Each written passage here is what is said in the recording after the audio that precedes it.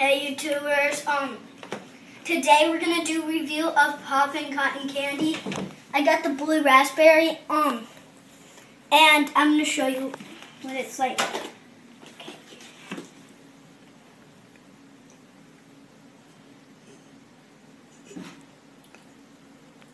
Um, tastes pretty good. They don't put a lot of pop rocks in it, but really good. Hmm. Ah.